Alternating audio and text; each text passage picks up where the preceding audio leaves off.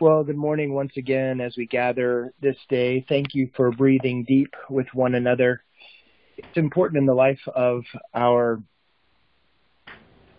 time together to focus on who we are and how we are to serve and sharing sharing in this moment although distant either by phone or on YouTube by breathing together, we know that we are connected not only with one another, but with our God. As we gather this day, let us gather our hearts and minds in prayer. O holy and living God, we ask you to be in our presence this day and to center us on your will and work for the world so that who we are and how we live together as one is evident in our shared ministry and life together. Amen. This morning we are focusing on feeling pain. The very thing that many of us try to avoid day in, and day out is feeling pain. This uh, idea of entering into the story of Jesus and finding a way to navigate and negotiate the pain being felt. Uh, so let me invite us to our scripture text this day. Our scripture text this day comes from the Gospel of John, chapter 18,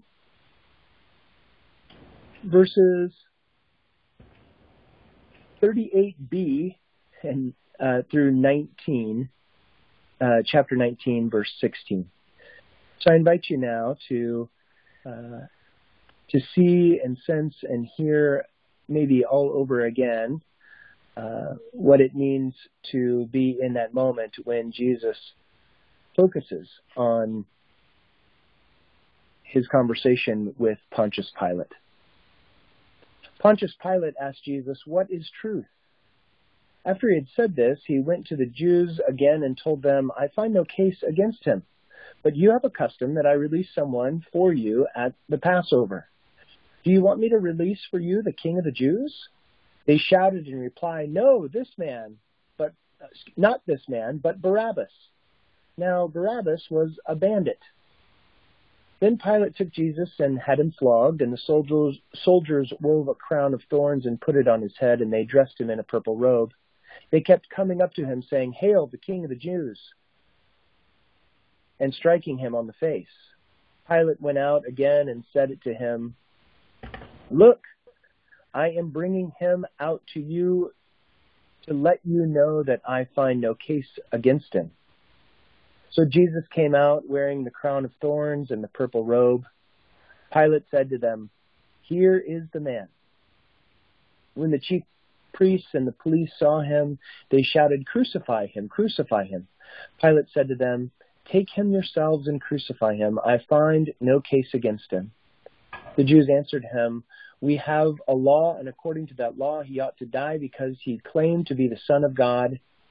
Now when Pilate heard this, he was more afraid than ever. He entered his headquarters again and asked Jesus, Where are you from? But Jesus gave him no answer. Pilate therefore said to him, Do you refuse to speak to me? Do you not know that I have power, the power to release you and power to crucify you? Jesus answered him, You have no power over me unless it has been given, from, given you from above. Therefore, the one who handed me over to you is guilty of a greater sin. From then on, Pilate tried to release him, but the Jews cried out, If you release this man, you are no friend of the emperor. Everyone who claims to be a king sets himself against the emperor. When Pilate heard these words, he brought Jesus outside and sat on the judge's bench at a place called the Great Stone Pavement, or in Hebrew, Gabbatha. Now it was the day of preparation for Passover, and it was about noon. He said to the Jews, Here is your king. They cried out, Away with him! Away with him! Crucify him! Pilate asked them, Should I crucify your king? The chief priests answered, We have no king but the emperor. Then he handed him over to them to be crucified. This is the word of God for the people of God. Thanks be to God.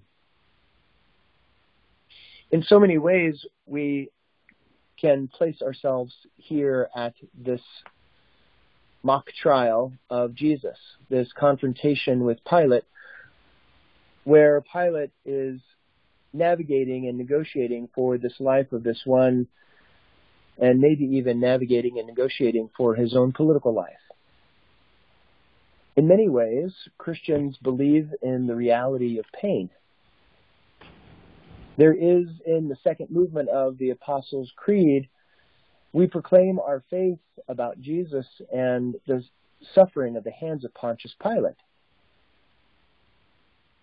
I believe in God the Father Almighty, maker of heaven and earth, and in Jesus Christ, his only Son, our Lord, who was conceived by the Holy Spirit, born of the Virgin Mary, suffered under Pontius Pilate, was crucified, dead, and buried. This suffering challenges my own understanding of Jesus' response to earthly power. To me, Jesus experienced pain. Pain, but Jesus did not suffer. I heard it once said, pain is inevitable and suffering is optional. Remember again the non emotive way the gospel writer John describes the events that unfold at Jesus' trial and the subsequent torture. That there was, to me, excruciating pain, horrific as a matter of fact. Yet Jesus stands receiving the scourge of the crowd and the vitriol of the moment, and there is no outward suffering in the face of those who would ultimately take his life. Yes, he experienced pain, but what of suffering? He answers only one of, the, of Pilate's questions. It is the question of power. Do you not know that I have power to release you and power to crucify you? Pilate asks. Jesus knows it is God who ultimately saves, and the body they might kill, but no one can take away what is within. What is the last line of A Mighty Fortress is Our God? The, the lines penned by reformer Martin Luther. That word above all earthly powers, no thanks to them abideth. The Spirit and the gifts are ours through him who with us sideth. Let goods and kindred go, this mortal life also. The body they may kill, God's truth abideth still. His kingdom is forever.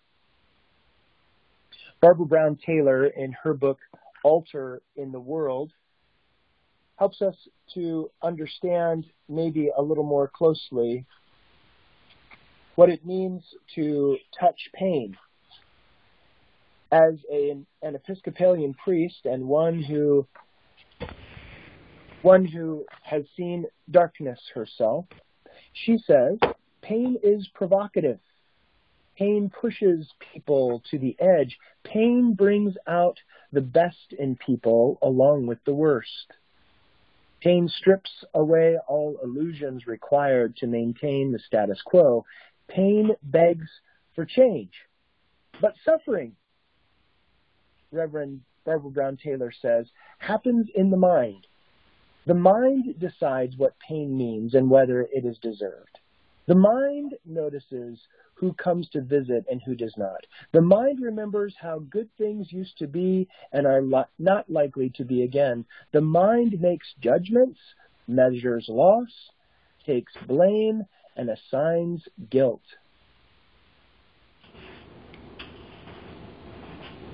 suffering is in the mind. Pain they may inflict, but suffering is in the mind.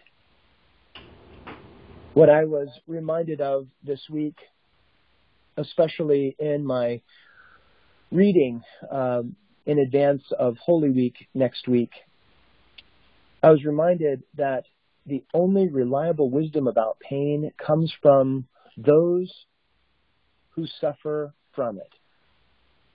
The only reliable wisdom about pain comes from those who suffer from it. As we think about our work as those who uh, are at the front lines of racial reconciliation and justice. We are called to step into the gap, to speak words that may respond to the pain whole communities might feel. And also, in my case, as a white cisgender male, I must also speak into the generational ignorance of white supremacy and also speak truth to white fragility. This last week, I was invited to testify before the uh, Texas State House regarding monuments, Confederate monuments here in Dallas. And I just want to read you a portion of the pain I feel, uh, or I'm sensing, not feel, but the pain I, uh, I'm sensing as part of our common work together. Here's what I said on Tuesday. As a minister, I know the importance of symbols and their power. I know how symbols carry significant meaning, not just for the past, but how these symbols carry meaning in the present and cast a vision for our future. The fragility of white citizens' ideology at the end of the Civil War and into the early and mid 20th century raised these symbols representing years of perceived greatness. Today, given our current political climate in the United States, I am concerned about the ideology of looking backwards. This is the very same ideology that elevated these statues to prominence. In my congregation, we are well aware of our action and our inaction.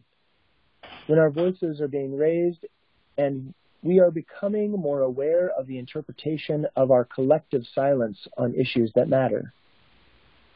It is time to face the fragility of white supremacy, bringing to bear a full and robust conversation with those who, by our collective action and our selective silence, have deemed citizens as second class.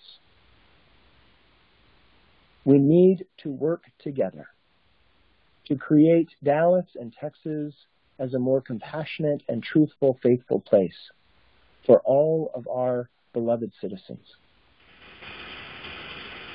Dear friends, the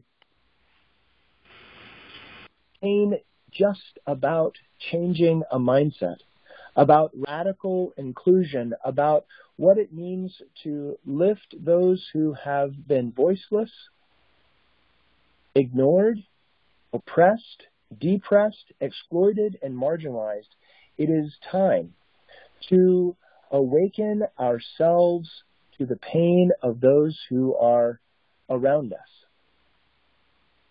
Maybe, just maybe, that's why Pontius Pilate went back and forth from Jesus to those who brought him in. He was trying to wrangle the pain, trying to stay distracted from the pain he felt the challenging, as I mentioned before, mock trial. But let's stay with the pain this week. The pain of exclusion, of marginalization. Stay with that pain this week. Deepen your feeling to it, not just intellectualizing the pain, but feel that pain. For we may just discover that our lives have full meaning when we enter into that kind of hurt. Pilate asks at the very beginning of our text this day, What is truth? I believe truth is found behind the hurt we may just feel. Let us pray. Oh God, bless our pain. Help us to stay with the pain, but not to let it linger into suffering. For we have the privilege to know how this story ends. It ends flipping the script. It ends with resurrection. It ends with knowing that death has happened and that life abounds. God, there are deaths that are among us in our culture and in our life together. Help us to rise to action, to raise our voices, and to speak into the pain of those who are marginalized and oppressed. And as I remember this week, a theologian who has made an incredible impact on my life and my work, Ignacio Ellacuría of El Salvador, where he reminds us that there is no salvation outside of the poor. There's no salvation outside of the, those who are in pain and oppressed. Oh God, as we have focused on this one named Jesus, who is one with the oppressed and the poor, who is one marginalized by systems and structures and power.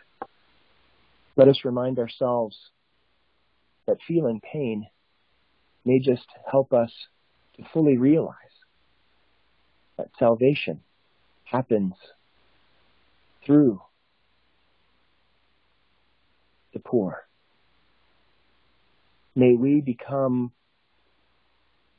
poor all over again. Not attaching ourselves to pain, but instead embracing, embracing the life that is to come. God, heal our every ill. Be the light for our tomorrow. Give us peace beyond our fear and hope beyond our sorrow. For we pray these things in the one whose life,